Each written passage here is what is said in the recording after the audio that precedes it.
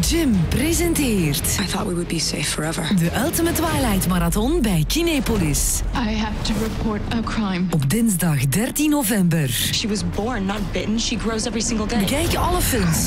Met om middernacht de avant-première van de Twilight Saga. Breaking Dawn Part 2. They're coming for us. Surf naar jim.be en ga met Ultimate Twilight Marathon in Kinepolis, Antwerpen. I'll never let anybody hurt you. De Twilight Saga Breaking Dawn Part 2.